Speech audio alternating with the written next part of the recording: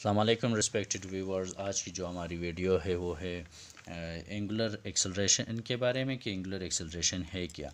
आ, जैसे कि हम एंगुलर लीनियर एक्सलरेशन को डिफ़ाइन करते हैं कि rate of change of velocity is known as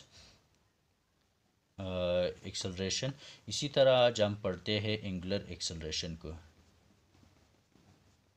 कि एंगुलर एक्सलरेशन है क्या और इसे डिफ़ाइन कैसे करते हैं? तो लेट्स स्टार्ट कि angular acceleration is the rate of change of angular accel velocity is known as angular acceleration.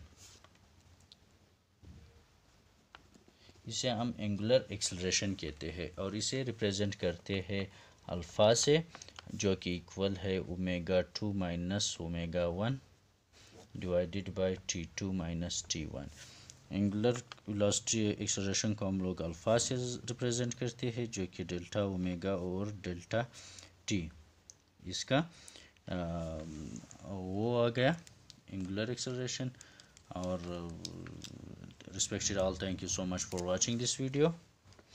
ये था हमारा relationship between angular and angular acceleration का। अब हमारे साथ दूसरा जो टॉपिक है, वो है relationship between angular and linear and angular acceleration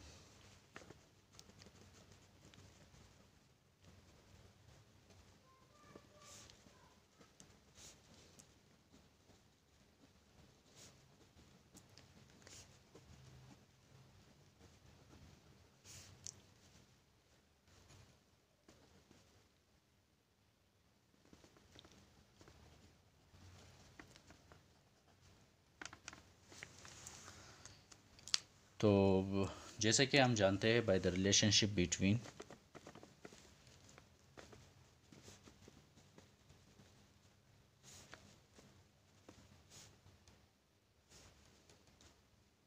between linear and angular velocity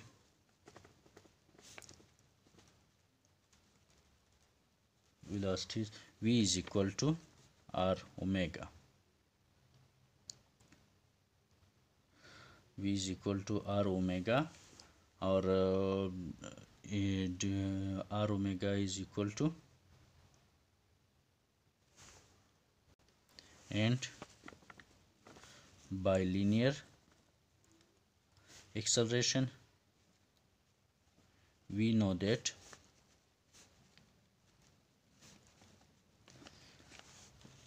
acceleration is equal to vf minus vi upon T ये इक्वेशन वन करते हैं, ये इक्वेशन नंबर टू करते हैं। लेकिन हम जानते हैं कि V is equal to R omega putting the value of equation one in equation two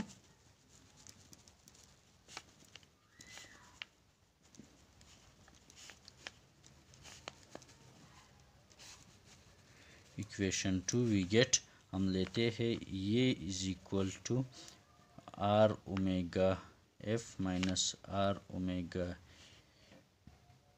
i divided by t.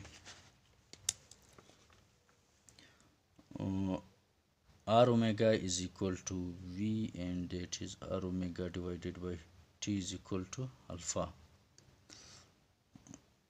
Omega upon t is equal to alpha therefore e is equal to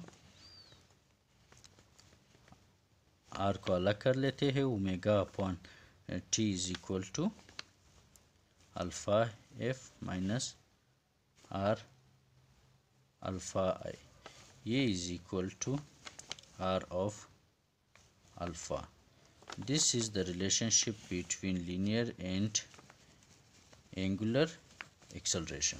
Thank you so much respected all for watching this video of बुली आपके मुश्किल आसान हो जाएँगे इस video से.